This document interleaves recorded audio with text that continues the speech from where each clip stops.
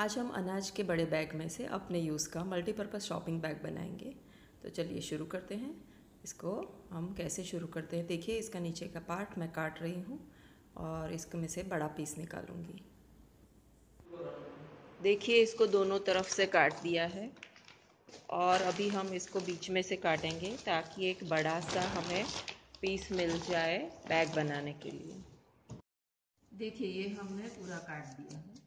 अब हम इस बैग को मशीन से भी काटेंगे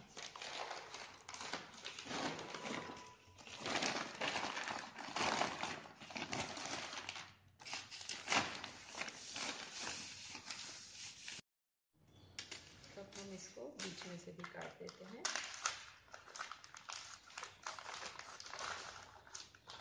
क्योंकि ये जो वर्टिकल बैग है, हम बनाएँगे हॉरिजॉन्टल बैग ताकि हम आसानी से इसको उठा सके। ये हो गया हमारा बड़ा सा पीस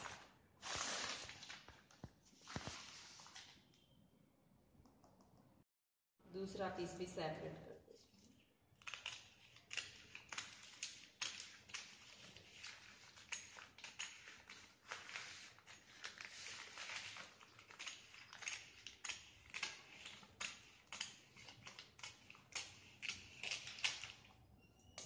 देखिए, हमारे पास दो अलग अलग पीस हो गए। एक में से हम इस बैग को ऐसे हॉरिजॉन्टल फोल्ड करेंगे और यहाँ वाला जो पार्ट है, वो हम ये वाले पीस में से निकालेंगे। देखिए इसका मेज़रमेंट एक बार पूरी लंबाई नाप लेती हूँ। यहाँ तक 45 और इसके आगे मैंने नापा। ये पूरा टोटल 66 है। अब मुझे अपने बैग को ऐसे बनाना है।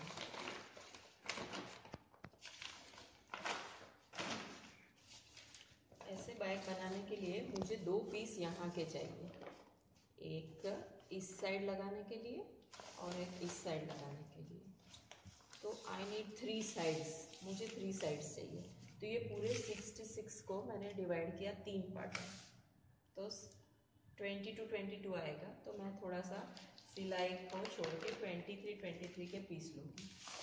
ये मैंने मेज़रमेंट करके जो दूसरा पीस हमने रखा था, उसमें से मैंने ये ड्रॉ कर है ये ट्वेंटी थ्री है, ये ट्वेंटी थ्री और ये भी ट्वेंटी थ्री ऐसे हम दो पीस काटेंगे और फिर उसके साथ ग्लू कर देंगे।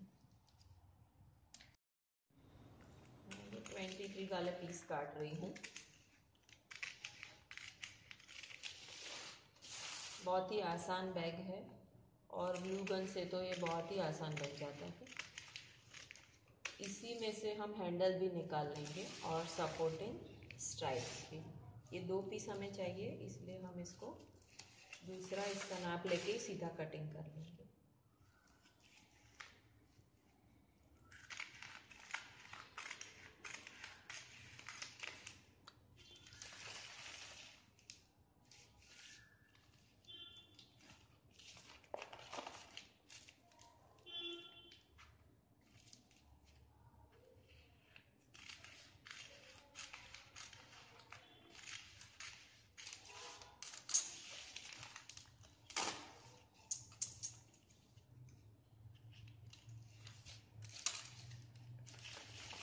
हो गए दो पीस अब हम इसको इसके साथ बड़े पीस के साथ ग्लू करेंगे।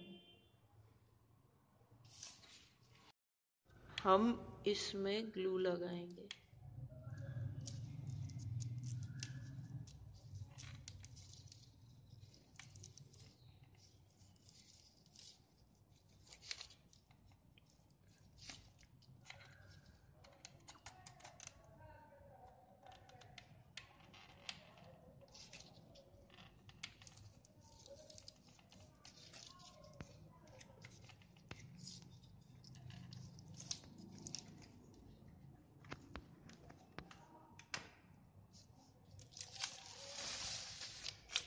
ये वाले पोर्शन पे हम चिपका देंगे।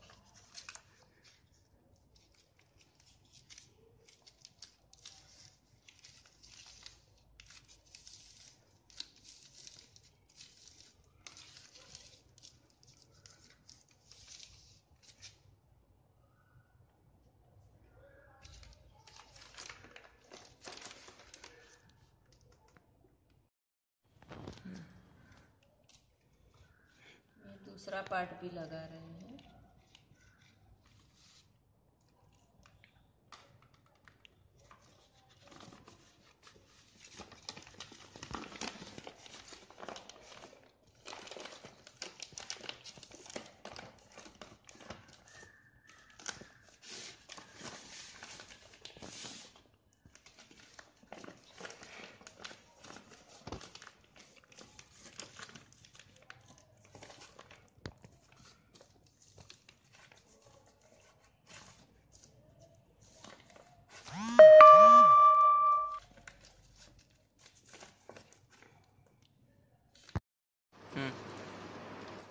हम ये सपोर्टिंग स्ट्रिप्स लगा रहे हैं, जिससे हमारे बैग को सपोर्ट मिलेगा।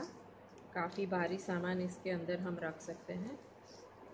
और ये वही बैग में से काटी हुई है। With the help of gun we are doing this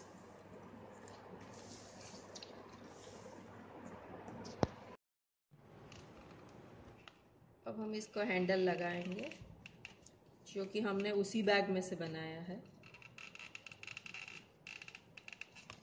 थोड़ा ज़्यादा ग्लू लगाएँगे क्योंकि यही हमारा हैंडल रहेगा और इससे ही हमें सब कुछ लिफ्ट करना है।